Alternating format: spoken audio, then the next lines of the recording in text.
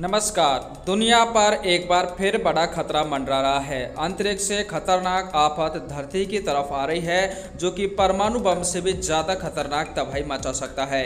इसको लेकर वैज्ञानिकों ने चेतावनी जारी कर दी है। इससे पहले साल 2018 में ऐसा ही खतरा पृथ्वी पर मंडरा रहा था। उस समय एस्ट्रॉयड धरती के बेहद करीब से गुजरा था।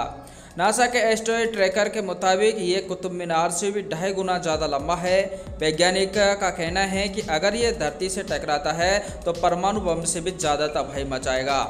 इसका नाम एस्ट्रॉयड 2018 ए एच है। यह एस्ट्रॉयड 190 मीटर लंबा है। नासा एस्ट्रॉयड ट्रैकर ने जो जानकारी दी है, उसके मुताबिक 27 दिसंबर 2021 को धरती के पास से गुजरेगा। वैज्ञानिकों का कहना है, इसके धरती से टकराने की अभी संभावना कम है।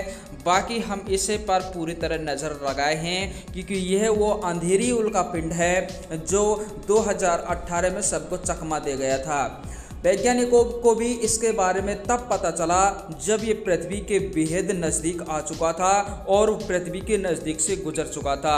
इसी एस्ट्रॉयड के बारे में तभी से वैज्ञानिक पूरी तरह इस पर नज़र लगाए हुए हैं, क्योंकि ये वो उल्का पिंड है जिस पर रोशनी सबसे कम है और इस पर गहरा, यानी कि गहरा अंधेरा छाया हुआ है, जिससे वैज्ञानिक भी चकमा खा गए थे। लेकिन अब वैज्ञानिक इसको लेकर पूरी तरह सतर्क हैं।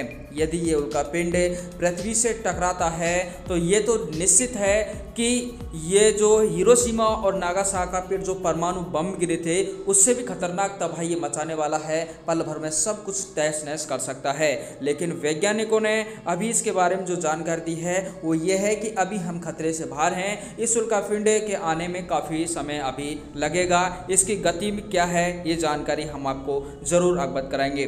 लेकिन पहले बार आप इस चैनल पर आए हैं तो चैनल को सब्सक्राइब ज़रूर करें, ताकि इस उल्का पिंड के बारे में सटीक जानकारी आपको इसी चैनल के माध्यम से मिलती रहे।